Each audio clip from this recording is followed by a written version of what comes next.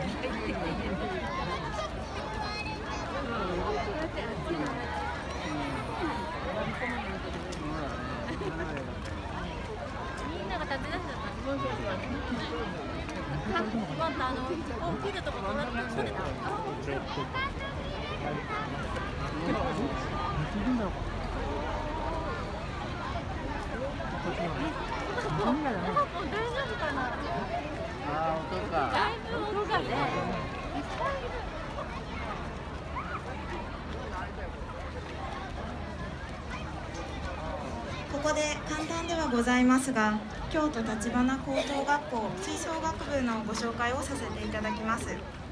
京都立花高等学校吹奏楽部は1961年に創立し2012年2018年にアメリカローズパレードへの出演を果たしました。そして今月10日には外国団体としては初となる台湾国慶節へ日台友情50周年記念の架け橋として招待されるなど界的に活躍をされております。それではここからは京都立花高等学校吹奏楽部の方へマイクをお譲りいたします。よろしくお願いします。皆さんこんにちは。